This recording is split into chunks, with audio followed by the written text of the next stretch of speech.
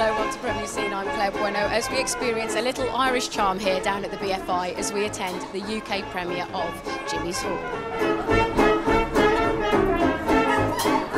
I believe in my neighbour, my fellow man.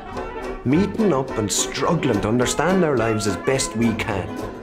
The hall is a safe space where we can think, talk, learn, listen, laugh, and dance. It brings out the best in us. So come along and see what we're doing with your own eyes. Don't be frightened. Now, the, the, the story feels very much about a sense of co- community spirit. Is that important for you to capture? Yes, absolutely. Um, I mean, it's about a, a guy in a, a, community that established a dance hall outside the control of the church. And uh, the church opposed it because because they wanted to control everything. They wanted to control education, the dance, enter- how you have fun, and control your thoughts. Um, and the, the struggle for a free space is still very important. I mean, we're a very manipulated society. It's a lot more sophisticated than the old Catholic Church from before the war. But nevertheless, the, the, the, the space for a dissident voice is very hard to find. Um, and of course, in some parts of the world, impossible, as, as young women are in fear of their lives because they want an education. Well, it was in search of an education, that, or to prevent a kind of education, that the church closed down Jimmy's Hall the, the, heart of it is about freedom of, of expression. Um, so, for you as the director, how important was it to give your actors freedom of expression? Well, I mean, obviously the, the script is written by Paul Laverty, but they, they, you have to find actors who will inhabit that and absorb it and make it part of themselves. So, so that um, I mean, it, it's a it's a freedom, but it's also um, um, you know making a film, which you have to um, you have to um, uh, direct really. But but there should be a sense of liberation about the a sense of spontaneity at least in what they do. Or being in the moment. Yeah, yeah, absolutely, being in the moment. Yeah. And, and I believe you don't give the, your actors the complete script. So how does that technique? What's the beauty of using that technique for you in, in what you um, Well, we, we shoot in sequence. So you start at the beginning and film film it to the end, and. Um, they in a way they go through the story and, and learn it as they go. I mean, they know everything about the character and who they are, so there's no surprises in what they would do. Um, but if there's a surprise, you film the surprise, and there are one or two surprises in the film. Um, and um, so the, the, the thing is to make the moment true. And if you experience as the characters experience it, I mean, sometimes it helps, you know, sometimes it helps. There is something evil hatching in that hall. Gralton and his crew are atheists. So our community faces a choice Christ or Jimmy Gralton's hall. How are you doing? Very well. Excited? Very much. Yeah, big time. So this is a, an unconventional biopic, really, isn't it? Yeah. exciting for you as an actor. Oh, amazing! Yeah, and I didn't have the, um, the, the the pressure that would probably ordinarily come with making a biopic in that you may be playing a well-known person and have to do an impersonation of some kind. Nobody knows this guy, so it was a it was a carte blanche, really. And yet you're you're you're performing as a, as a man that isn't really well documented, but he's kind of a, he's a folk hero. So how did you then build up the character? Um, with a lot of uh, long, intense rehearsal period involving a lot of dancing and farming and eating farmers' diets, stuff like that, and spending a lot of time in that part of the world, trying to, you know, embrace the, the accent and physicality of people from there. Um, yeah, it's a long, slow period of, of osmosis, I think. You just try and put yourself in these situations and hopefully things seep in, you know. And the interesting thing as well with Jimmy, when we see him in the beginning of the film, he's coming back from America, um, and he's, he's got to be careful, hasn't he, with how he conducts himself yeah. and not getting into trouble. And I just wondered how that then affects the motivation of your character. Yeah, that's good, good insight. Yeah, you've watched this movie. Um, yeah, so he, he had been run out of town. He had made a few enemies in the town and had to had to flee. Ten years later, there's a change in the political climate. A new party have come to power on the back of you know very liberal and uh, and fair policies and promises. So Jimmy Gralton returns into that environment, sees that what what was promised is not being fulfilled, and it's a case of whether or not he's going to sit on the fence and just live a quiet life. And being the kind of politically active guy he is with a he was a very sensitive man and had a really deep sense of justice. He couldn't sit idly by and watch things unfold, and he had to he had to do something about it, you know. Um, big, and I, I don't know if it's in the Bible that they, they say all, all it takes for evil to prevail is for good men to do nothing, you know, and you and you can't keep a good man down.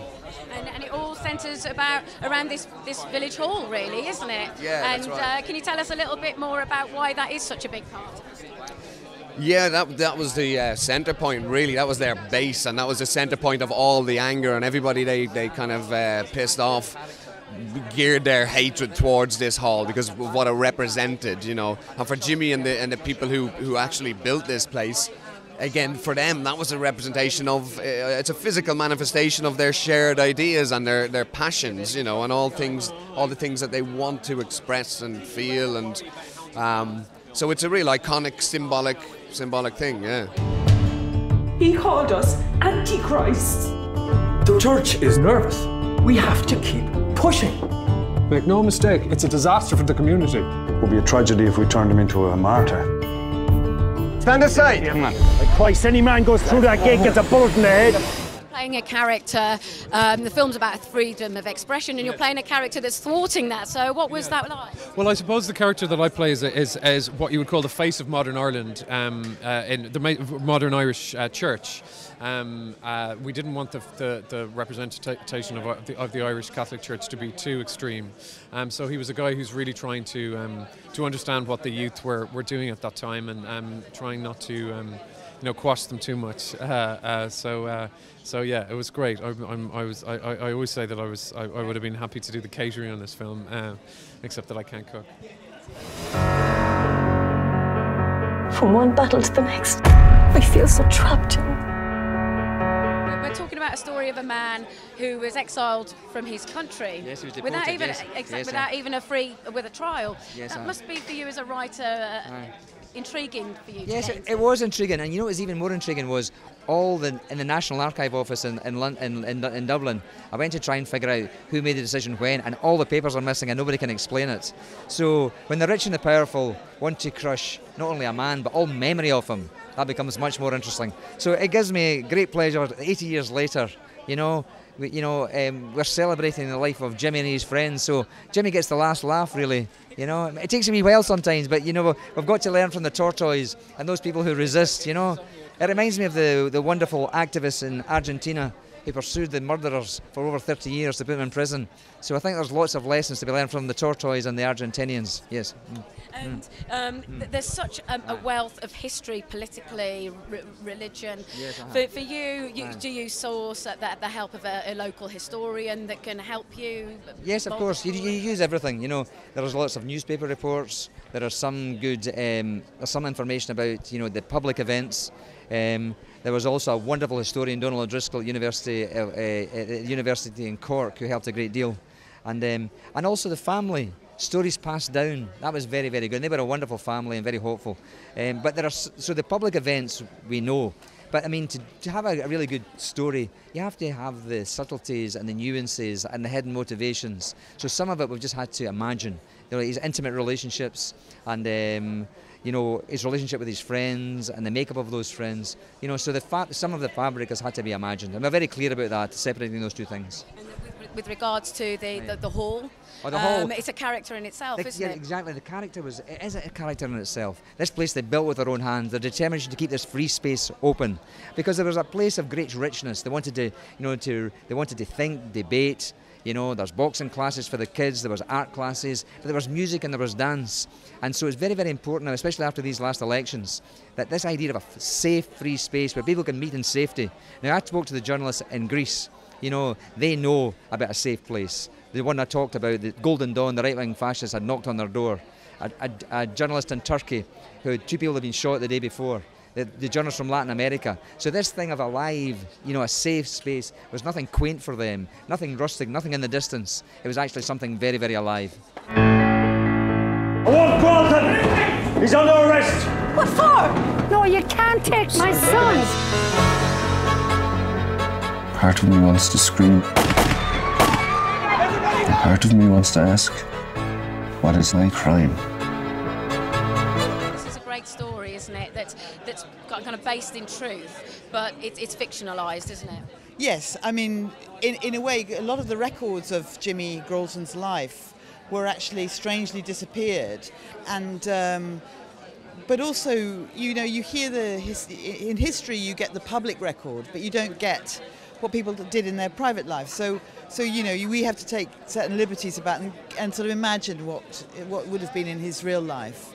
Um, but otherwise, it's sort of pretty much true to what happened to him, and uh, and I think he's the sort of guy who I think would have would have gone along with what we've said about him in the film. You've actually uh, the, the, hall itself was built uh, was burnt down, wasn't it? And I believe you you built another hall in its place. We built well, yes. The original hall was burnt down, and um, there's actually a plaque, uh, a little empty space where it stood in County Leitrim. So to make the film, we built a hall, and um, we actually built it in Glasgow, and then flat packed it over to Leitrim and constructed it in such wonderful weather. It's very rainy there, and it was just really good for us. And uh, we managed to put it up in a couple of weeks. It's a beautiful hall. It was a beautiful place. it, seems as well it's got to add so much because you're shooting in the place where the, the story is, is, from, really. Yes, I mean we were just a few miles north of, of, from where Jimmy actually built his hall, and um, you know the hall is is just a building, but when what we had to do was to build a community around it and get people to dance and sing, and and and so we sort of put together a, a community, a, our own flat pack community, which was just the most fun. Just spending, you know, months in in Leitrim and Sligo putting together the team. It was really lovely. And, and with regards to the, the casting, you're you're using many emerging talent in the film. What was what was the decision for that? Well, I think we always like to try and find people who are right for the part, and and actually the main actors are all actors and they've been acting for some time uh, apart from Aileen, who plays uh, Jimmy's mum, and she hadn't she hadn't done it before, and we'd sort of let her in on the news gently that she was going to be in the film, but she just sort of shone out for us. And but then there's a lot of young uh, people in the film who haven't acted before or have had just very small roles, and they they they form the sort of dance core of the film, and and as they got more experience working with us on the film, they their parts you know, got a bit bigger and things, and it was an amazing group. Why is an old tin hall so dangerous? It's not just a building, it's what we are. And we have to protect it. We presented the mayor with the letters of support from around the country. We need to take control of our lives again. To live and to celebrate, to dance as free human beings.